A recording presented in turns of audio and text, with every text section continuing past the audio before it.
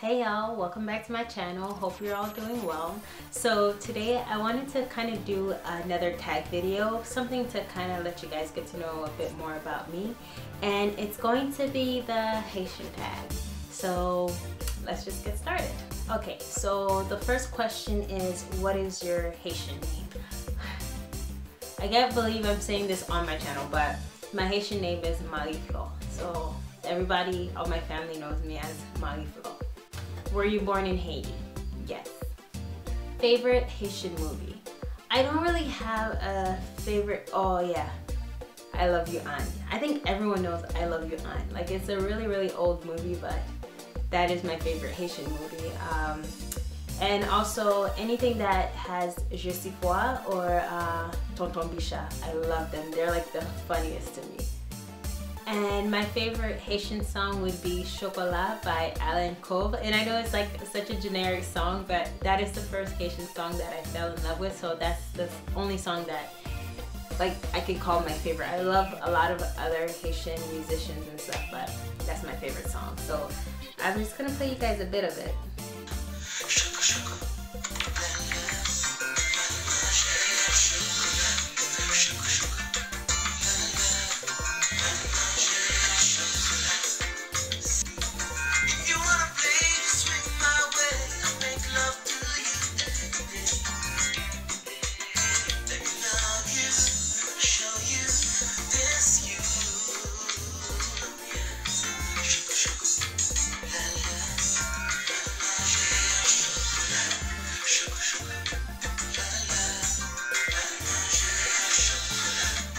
Yes. If you go on YouTube and just Google Chocolat by Alan Cove, Alain Cave, oh my god, Alan Cave, you will hear the song and I just, I love it. Favorite Haitian food would have to be generic, I know.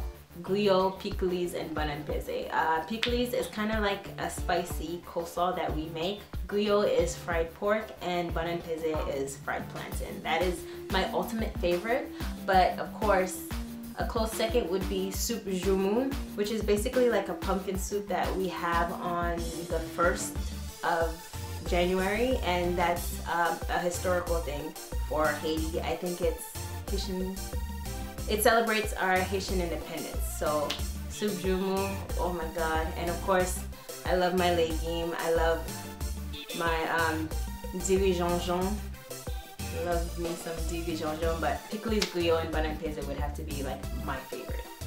When was the last time I was in Haiti? That would have to be 96. I was six years old. And how many times have I been to Haiti? I haven't been back since I was there in 96, but I do plan on going next year. I was trying to go this year, but I had started a new job, so I can't really get that much time off. So I definitely want to go next year, and I'm making myself a promise that next summer I have to go to Haiti. So I'm really excited for that. Okay, where are my parents from? Uh, my mom is from Aquin, and my dad, oh, I might have to call him. Where's my dad from? Hello? Hi, Daddy. How are you? I'm good. How are you? Good, good, good. Daddy, I have a question. Yeah. Qui kote ou fèt ankon? Eh? Qui kote ou fèt?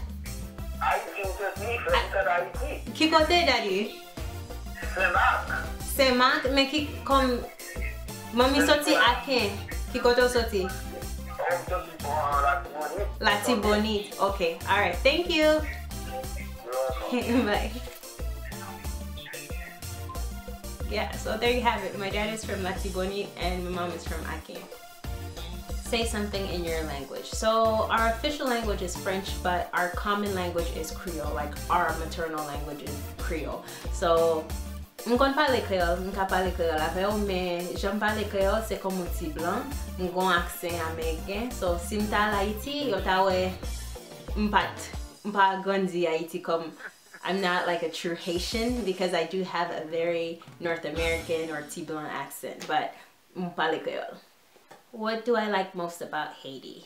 I would have to say our culture um, and just what the country embodies. Like I feel that Haitian people are very strong people. We're very prideful. We're very loving. We're very giving. We're very stubborn, but that just makes us who we are. And we have a lot of things going for us. Unfortunately, sometimes our passion can kind of be steered in the wrong directions, but I just love how we persevere no matter what is thrown our way. Like that makes me proud to be a Haitian.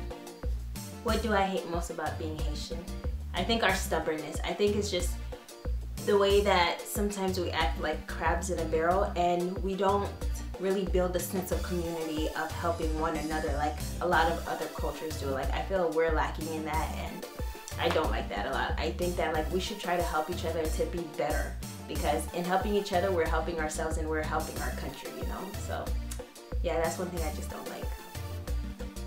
A ridiculous question that I've been asked. Um, do I eat cats? Do I eat dogs? Like back in the days when I was like in elementary, middle school, there was this stupid rumor that went around that Haitians ate cats and dogs and stuff, and I'm just like, no, like that's stupid. And even if someone did, don't like, they used to say it in a bad way, and I'm just like, well, I personally don't, but if someone did, like, what is it your business, and why would you even ask me that? But yeah, that's one thing that like I hate when people ask or a commonly asked question or um, people being surprised when they see me and that they know that I'm Haitian. They're just like, but you're so pretty. What?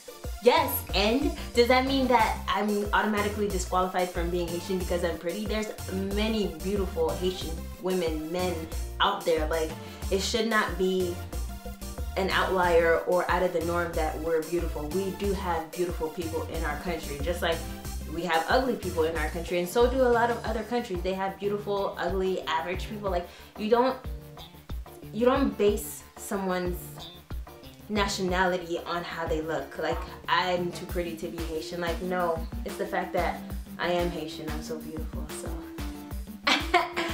Yeah that was but yeah i i always hate when people are surprised that i'm haitian like it's it's ignorant like don't say that i'm but i'm so pretty like that that's ignorant that's along the same line as telling me I'm pretty for a black girl, which your mother or father's favorite phrase.